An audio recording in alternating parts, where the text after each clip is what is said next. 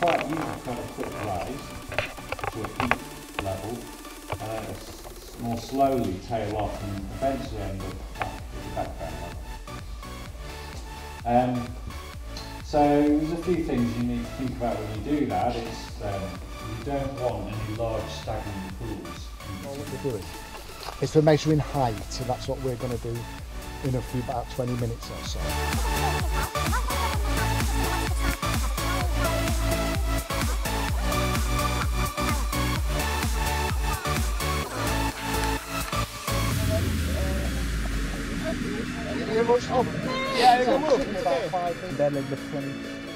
It's because you're very. It's like looking at the moon through a telescope. If you turn it a fraction of an inch, you focus, it'll go, doesn't it? All right, it's very, very precise. So just keep going, persevere. You will get it. Unless you're looking at his jeans. So how you build your fire, how you run your fire, and how it transfers its heat into the water is what we're trying to do well today. Key thing for getting good combustion is to ensure that your fuel and your air are delivered in the correct proportion.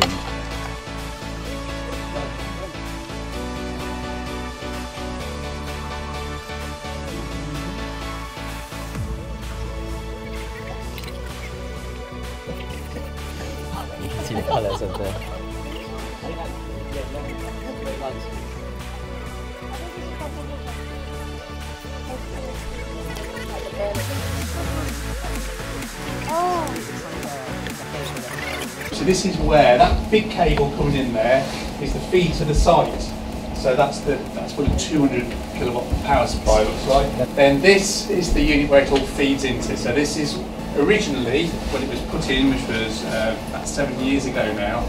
Everything we've seen up there is supposed to come into here. It's a polyurethane foam. Okay.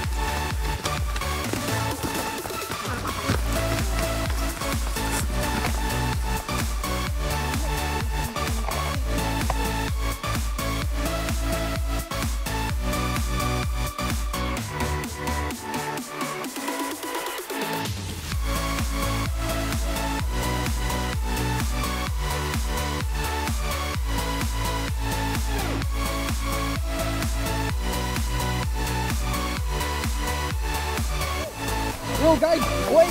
wait, wait Have a look on the GoPro. Oh, yeah, yeah, it's like a selfie style. Okay. Two, three, cat. Yeah. That's so funny. That's a